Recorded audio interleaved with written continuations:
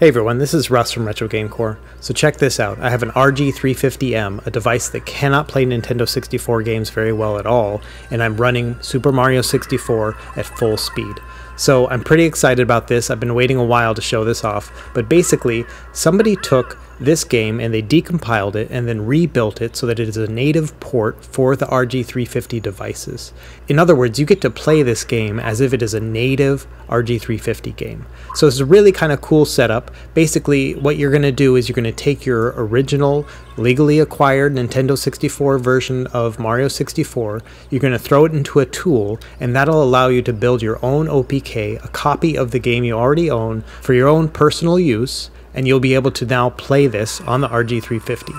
And it works really, really well, as you can see here. So let me show you all the things you're going to need in order to get this running perfectly. So first things first, you're going to want to have a spare micro SD card.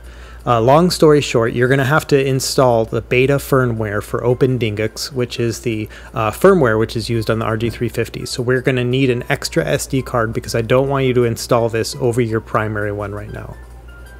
Next, you're going to need that beta firmware, and it's running really well, and they're, they're making some really good progress with it. And I'm really excited when this actually becomes the stock firmware for OpenDingux and for RG350. So we're going to keep it on that spare micro SD card. And you're also going to need a copy of Super Mario 64. Now, this is your own personal copy. Uh, you're going to want it in Z64 format.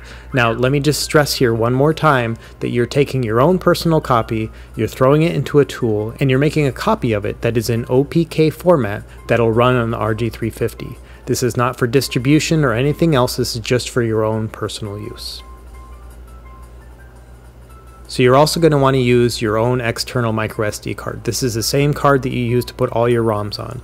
All we're going to do at this point is just add the beta firmware to it, as well as your OPK of Super Mario 64. And that just kind of streamlines the process. We'll get into that here in a minute. Okay, so that's all you're going to need, so let's dive into how you're actually going to do this. First things first, let me show you, here is the Nintendo 64 ROM here. You can see it's in Z64 format. And then you're going to go to my website, to the RG350 guide, and into the firmware guide. So you'll find the link that says how to upgrade your firmware or start from scratch. Go here, and then I will have the two different links for RG350 and RG350M stock firmware. So this is just the original firmware that comes with your device. And we're just going to download a copy of this because we're going to flash it onto that new internal SD card that we showed you earlier.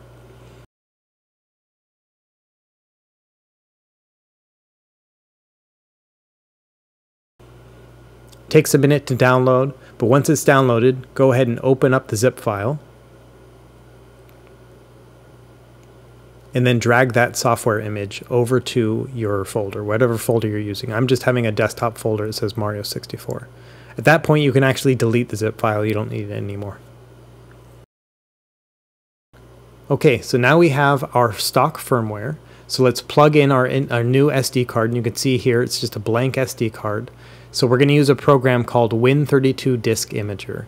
And this is basically just going to write that software image that we downloaded onto that disk. That's all we're doing. So what you do here is you click on the folder to pull up the image file, navigate to wherever your image is saved, and then pull it up. And then verify that it is the right file, as well as the right SD card, and then you just hit the right button, and it takes a minute, and it writes that image onto your SD card.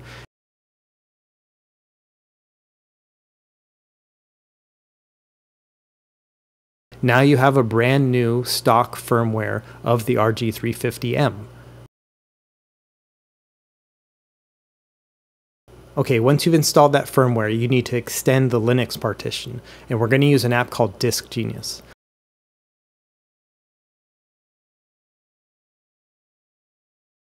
So open up that app, go in there, and you'll find your, your disk, and it'll say primary one as the partition. And if you look, it's not filling up the entire SD card.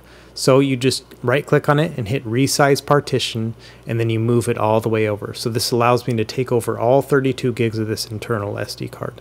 And you don't need a 32 gig SD card. It's just the one I'm using. You could even use just maybe an 8 gig or a 16 gig. Just something like that would work just fine. Okay, so now we have a base stock firmware version of an internal SD card. Now this is exactly the same process you would use if you had a brand new 350 or you wanted to start over from scratch, and that's all we've done at this point. Now you can eject that disk. You're not going to need it anymore until later on here in the video. We're good to go. So now let's work on the beta firmware. So if you go to the guide I have linked below, I'm going to have a link to the beta firmware. And here, you're just going to click on the Nightly's uh, link, go to the download links, and from here you'll find a copy and it'll say GCW0. That's the one that works on the RG350. So you save that link, again, just put it wherever you want.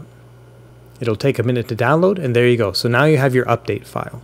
And let's go ahead and delete the SD card image. We don't actually need that one anymore. Now we're just left with the Mario 64 ROM as well as the beta firmware. So now plug in your external SD card, open it up, Make sure you have an apps folder if you don't make one, and then just drag that beta firmware in. That's all you need to do. Okay, so now let's actually build the Mario 64 OPK. So again, go to my guide and I'll have a link to this page here, which will allow you to actually build the tool set and, and decompile the file and do all those things that you need to do in order to make the OPK. But they've set it up for you already, so all you have to do literally is just push a couple buttons. So first things first, you just find that first play button in the, that little snippet of code, it's called a cell, and then you just hit play on it.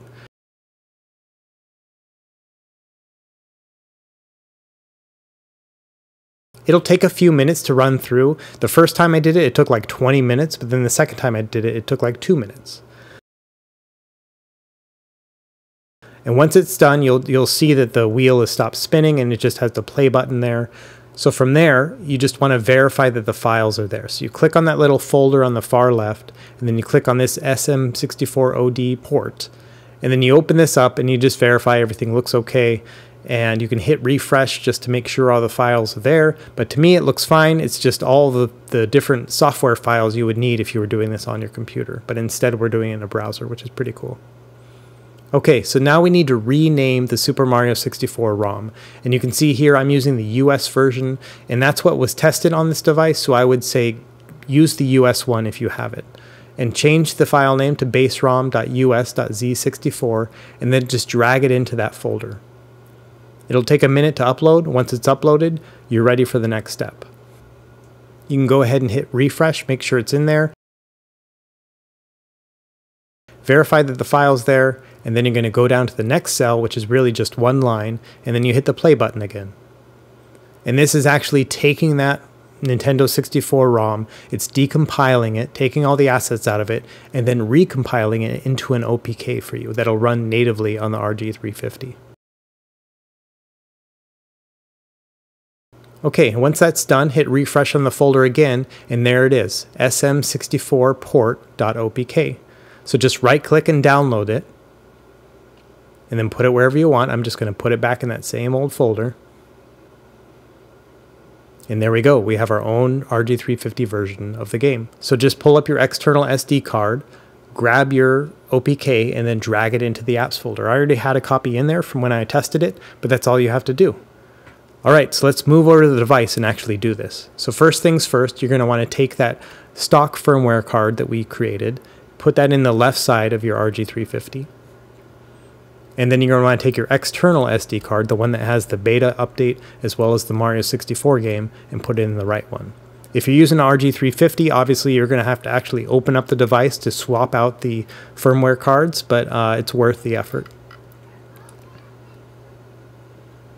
Okay, so the first time you start up a new version of OpenDingux, uh, even if it's a stock firmware, it's going to take a minute to start up. So just give it about 30 seconds. It'll run through whatever it's doing internally, and here you are. So now you have a new version of RG350's firmware. So you'll find that OS Update app. Go ahead and click on it, and then it'll tell you, hey, we're going to install a new firmware. Go ahead and press Start, and then just set it down, give it a minute, and it's going to run through all the things it needs to do.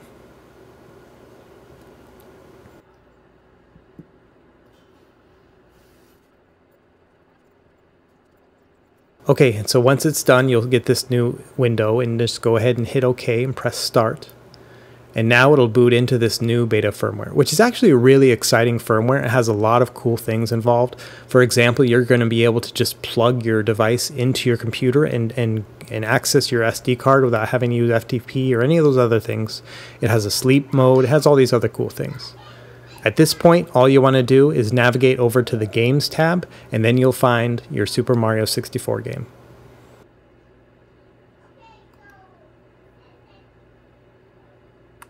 and it starts right up. So a couple things about this game, it doesn't support like save states. It literally is playing the game natively, right? And so when you need to save the game, you have to save it the old way that you used to on the Nintendo 64. You're going to wait for a save spot and you're going to hit save. There's no save states or anything on it. But other than that, it runs perfectly. If you look at the guide that I have linked below, you can actually see that I have instructions on how to remap the buttons in case you don't like the way they're mapped out. So really, you know, the, the world's your oyster at this point. You get to play the game however you want. You can map the buttons however you want, and it's running at full speed. This is really a kind of cool project, and I think you really are going to enjoy it. And honestly, it's just kind of cool.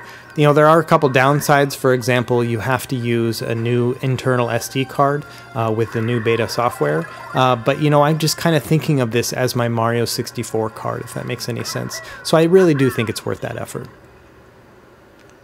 Anyway, that's it for this video. Thanks for watching. Let me know if you have any questions in the comments below. Please like and subscribe if you found this helpful, and we will see you next time. Happy gaming.